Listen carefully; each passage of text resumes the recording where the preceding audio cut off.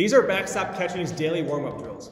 We use these before every game and practice or anytime there's performance or competition. These consist of progressions for receiving, blocking, and throwing, and our biggest focus points are to work on form and to catch, block, and transfer every rep successfully. Try and be perfect, and make that your mindset of not allowing any free bases. All right, so let's grab eight baseballs and partner up. We'll start these warm-ups about seven to eight feet apart and begin underhand receiving. Let's get into it.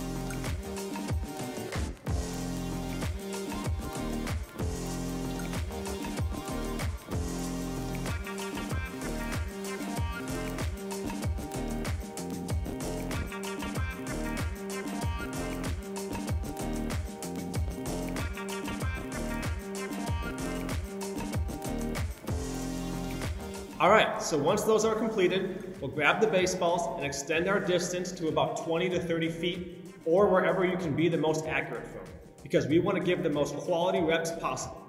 You can throw from a knee or standing, that's up to you. And like I said, however you can be the most accurate is best, and we'll now throw overhand to our partners. Here are the drills.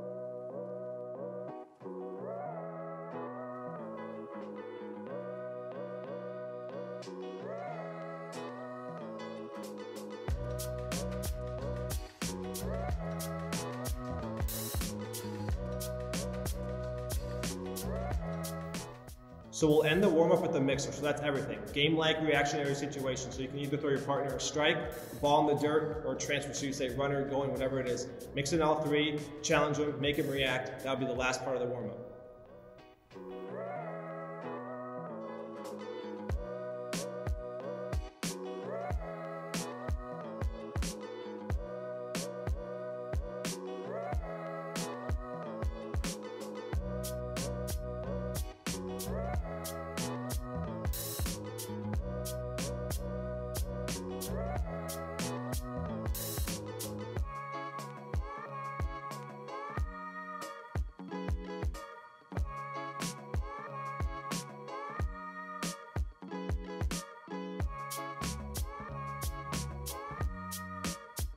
And there it is. That's Backstop Catching's daily warm-up drills. Hope you guys enjoyed it. Use it, make it your own, and let's get better.